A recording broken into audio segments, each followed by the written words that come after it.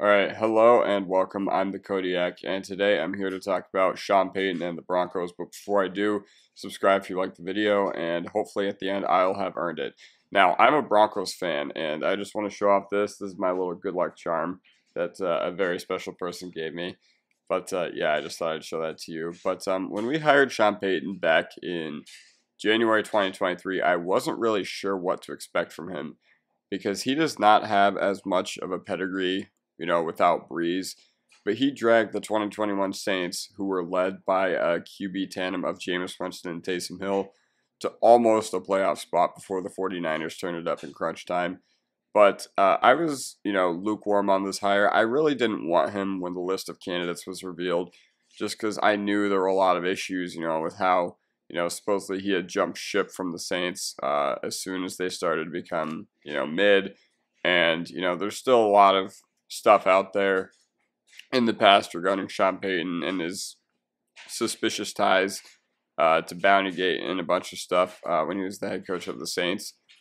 But if there's one thing I learned, uh, it's that he knows how to coach a team. and after Nathaniel Hackett, it really couldn't get much worse. Uh, this team has had a massive cultural problem over the last few years.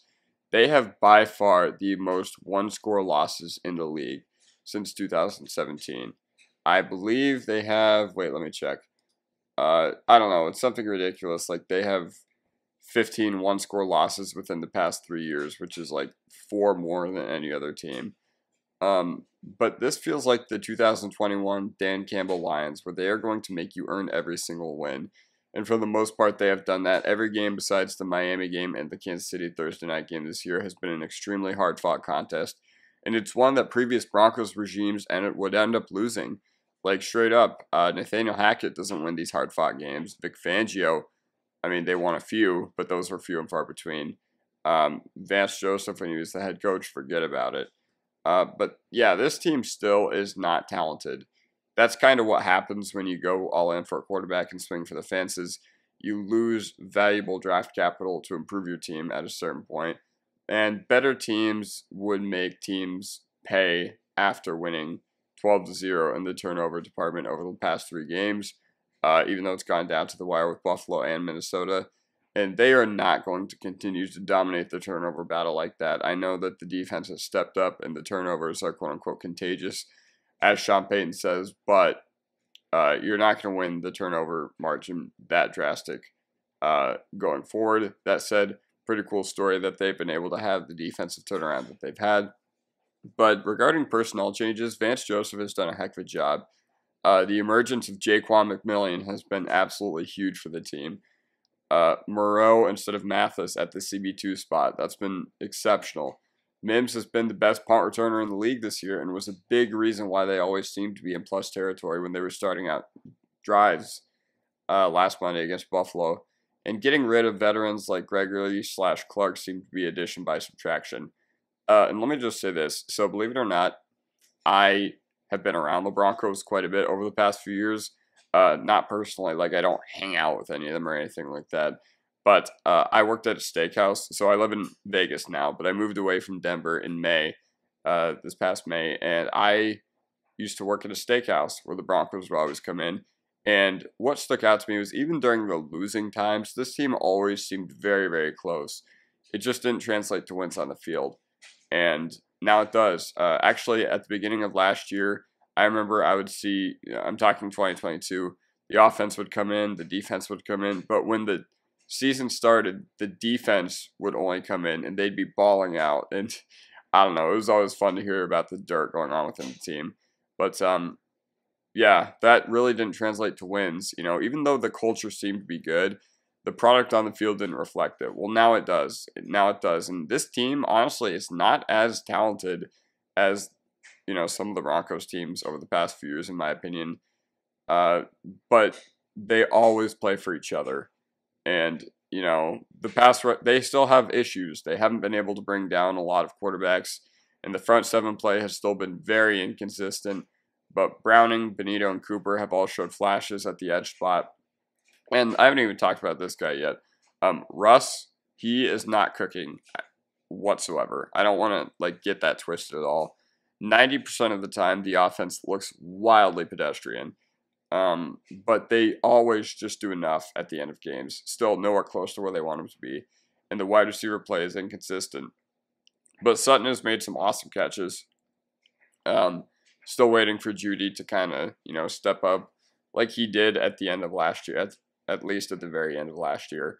Um, because I know he can, but remember, he was hurt uh, going into this season. But I don't know.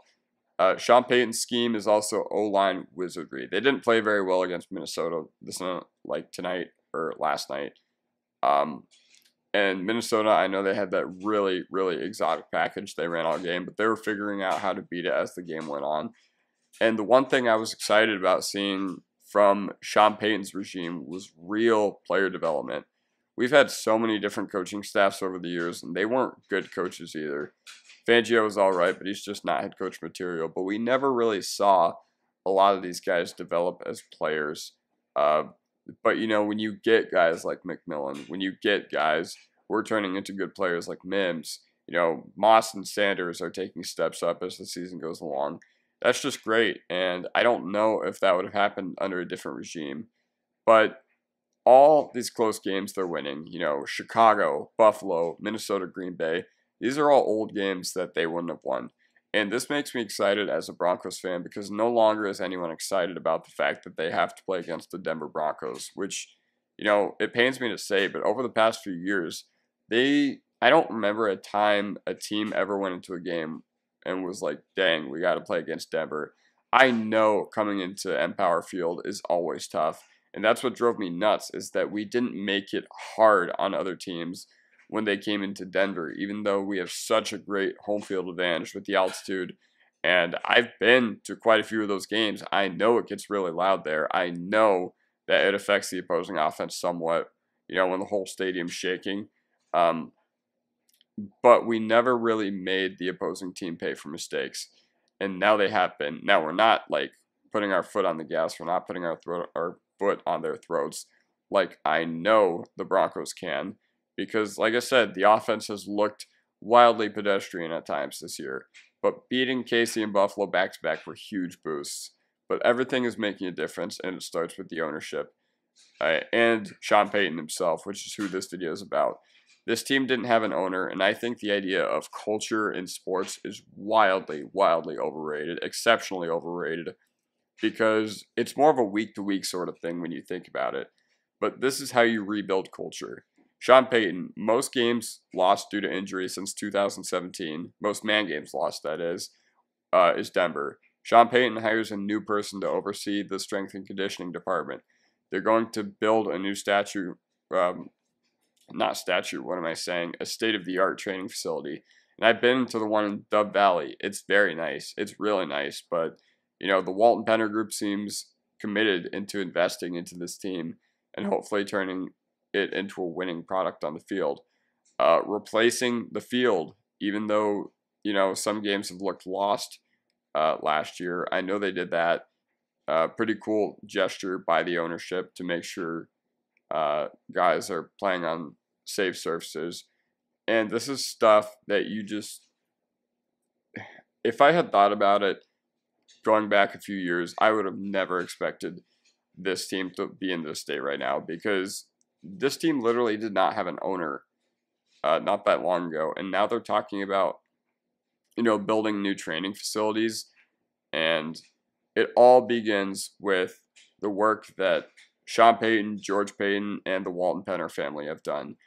Um, it's great, and when you have a team that has been snake bit over the past few years for just a number of things.